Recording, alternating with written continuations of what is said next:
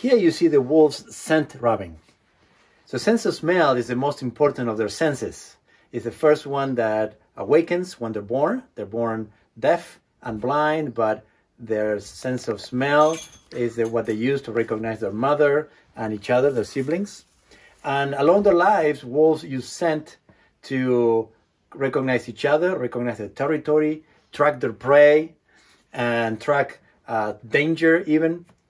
So at Wolf Connection, we enrich their behavior by spraying essential oils in different features of their enclosures so they can activate this very important side of themselves.